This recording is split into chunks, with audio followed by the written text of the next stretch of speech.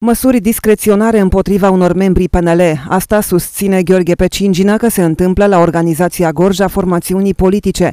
Conducerea a decis suspendarea din partid a primarului din Albeni trimis în judecată pentru fapte de corupție, însă nu a luat nicio măsură împotriva unui alt edil judecat și el pentru fraudă din bani europeni.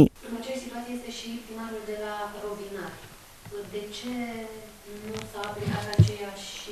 uh, Asta e întrebarea la care trebuie să răspundă și dacă s-a luat biroul. decizia în uh, BPJ, până să fim membru al BPJ. Nu, nu particip și în primul rând erau hilare primele ședințe, cu tot respectul pentru colegii mei.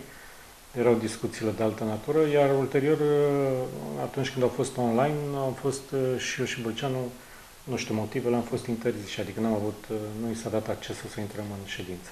Probabil erau lucruri despre care noi nu trebuia să știm și uh, dar nu, nu mă deranjează foarte tare atâta timp cât uh, lu- dacă lucrurile ar merge. Dar dacă lucrurile nu, din punct de vedere politic, nu merg și nu funcționează, atunci și eu cred că nu funcționează. Mă uit la ce se întâmplă la Complexul Energetic Oltenia, mă uit ce se întâmplă în județul Gorj cu primarii noștri și cu organizațiile. S-a vorbit despre reorganizare, dar se reorganizează așa pe sărite și cum ați dat și exemplu, se ia măsuri doar pentru cei care nu sunt apropiați de președintele partidului. Pecingină spune că în PNL se aplică dubla măsură atunci când este vorba de membrii de partid și de cei care îi susțin. Ceea ce au aplicat, ce au aplicat corect. În cazul lui Stan au aplicat uh, corect statutul, dar Adică în momentul în care e trimis în judecată. da, da.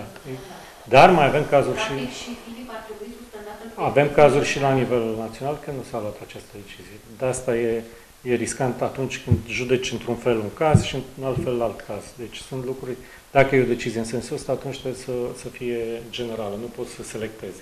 Sau nu știu, poate au criteriile lor de selecție și nu le știu.